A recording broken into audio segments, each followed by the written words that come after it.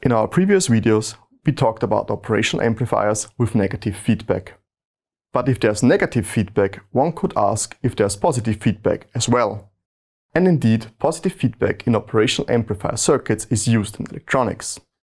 So let's talk about operational amplifier circuits with positive feedback.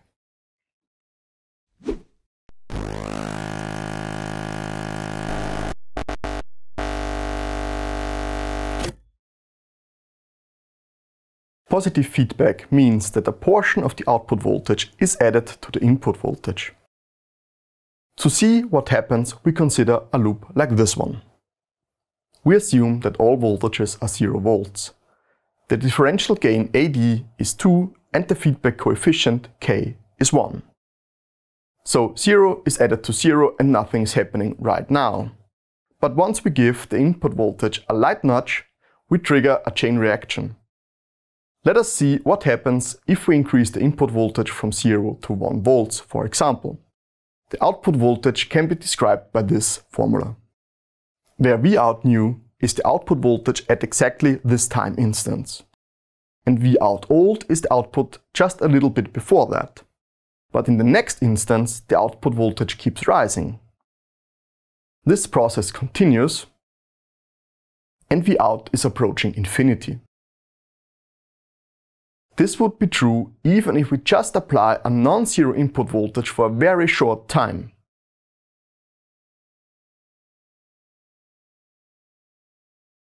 At the beginning, this does not make much sense as the output voltage would just skyrocket towards either plus or minus infinity.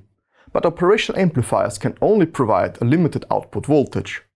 This means the output voltage only reaches a certain minimum and maximum value.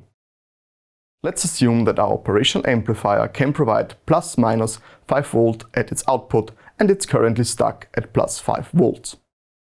Let us apply a negative input voltage of minus 1 volt and recalculate our output voltage to see what happens. As we can see, an input voltage of minus 1 volt is not enough to change the output voltage. Now we apply a negative input voltage of minus 5.1 volts and recalculate our output voltage again. In the first instance, we get minus 0.2 volts, which gives in the next instance minus 5 volts. We just managed to switch the output voltage by applying an appropriate input voltage. We do not even have to apply this input voltage all the time, just a very short amount of time is sufficient. This configuration is able to detect short changes of the input voltage beyond a certain limit. It behaves like the trigger of an oscilloscope, which we explained in one of our other videos. Hence, these circuits are called Schmitt triggers, honoring their inventor.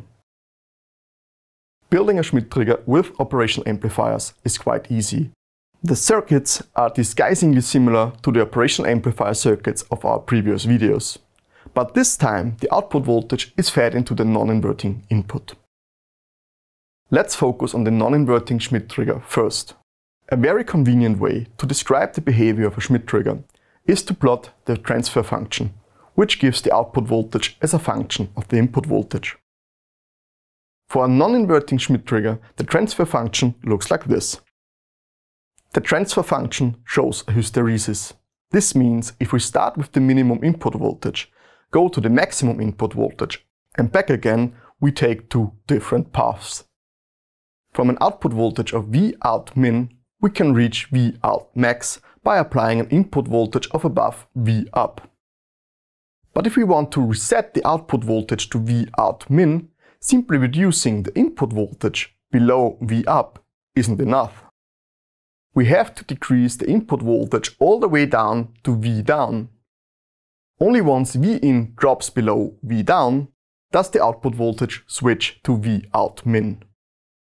But how do we get the trigger levels V up and V down? Let's calculate this non-inverting Schmitt trigger circuit as an example. As a starting condition, we choose the output voltage as minus 5 volts. Now we want to derive V up. In order to cause the operational amplifier to switch, we need to apply an input voltage that results in a differential voltage Vd of 0 volts. We set the limit of Vd equals 0 volts for our calculations. Be aware that this VD equals 0 volts is in no way related to our previous rules for negative feedback circuits. It just happens to be the exact same requirements to determine the trigger levels. While VD equals 0 volts is true for ideal negative feedback circuits all the time, a Schmitt trigger shows VD equals 0 volts only in the instant before switching. So be careful there. Back to our example. We require VD to be 0 volts to toggle the output of our Schmitt trigger. We also know that the output voltage is currently minus 5 volts. The rest is just a simple resistor circuit. The current IR2 equals Vout min minus Vd divided by R2. As Vd is 0 volts at the trigger point, we can simplify the equation. As the current into the non-inverting input is a property of the operational amplifier, I plus equals 0 amps is still valid. Thus, the currents through the resistors are equal and we can determine the voltage drop at R1 by this expression. Thus, we get this equation for the trigger level. If we use the numbers from the example, we get the following results for the trigger level. We proceed similarly for the second trigger level, but this time we start with an output voltage of plus 5 volts. This means we can plot the transfer function of our circuit. This is fine, but what if we need a transfer function not centered around 0 volts? Maybe something like this. V down is now positive, but the formula only allows for negative values. So how can we achieve a positive V down? What we need is a little help from a second voltage source, VH, which we connect to the inverting input of our operational amplifier. The calculation of the trigger levels V up and V down is basically the same as before. We focus on the resistive network again, but this time we add VH to the middle terminal. In the moment of switching, VD is 0 volts and the middle contact is at a potential VH. We calculate V down first to see if it really can become positive now. The rest is just as before. We calculate IR2, which then flows on through R1. A short cosmetic makeover results in the following equation. Now V down can be both positive and negative. The same is true for V up, by the way, which can be calculated by the following equation. As a small example, let's design a non-inverting Schmitt trigger with V down equals 1 volt and V up equals 3 volts. The maximum and minimum output voltages are plus minus 5 volts. The missing pieces are the two resistors R1 and R2 and the voltage VH. We already derived the equations for the trigger levels. Now we have three unknown quantities, but only two equations. That's a problem. But a closer look on the equations reveal that only the relation of the resistors is important and not their absolute values. This means we just pick one of the resistors. Let's select R1 equals 1K. The rest is just a little bit of math. The second resistor has to be 5K. And the voltage equals 1.67 volts. The approach in determining the trigger levels and designing the circuit is the same for the inverting Schmitt trigger. But how so? Well, let's pretend for a moment we would recalculate the inverting Schmitt trigger all over again. We remind ourselves that a voltage source applies the input voltage. Does the circuit seem familiar? No? How about now? We end up with the exact same circuit as before. An inverting and a non-inverting Schmitt trigger are the very same circuit if we swap VH and Vin. Of course we have to repeat this process for the equations from above. So for each of the two equations, we swap VH with either V up or V down. We solve again for the trigger levels to finish the inverting Schmitt trigger.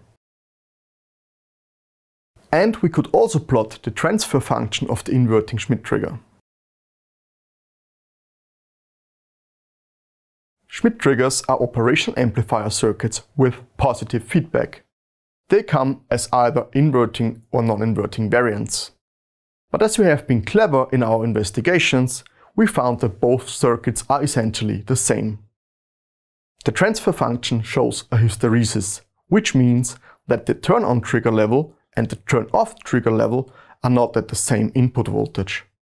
This allows to detect even very short events in the input signal as Schmitt triggers have a memory-like behavior. Positive feedback seems like an explosive idea at first, but allows us to detect changes of the input voltage beyond selectable trigger levels. Schmitt triggers are widely used for the level detection or to increase the noise immunity of a digital circuit. Speaking of the world of digital design, the Schmitt trigger is also called a bistable multivibrator and can be used to implement a simple oscillator circuit, the so-called relaxation oscillator. But this will be the subject of another video. I'm Patrick with the Institute of Electronics. We hope you've learned something today, but anyway, thanks for watching. If you want to learn more about operation amplifier circuits, we highly recommend The Art of Electronics by Horowitz and Hill as well as Elektronische Schaltungstechnik by members of our institute.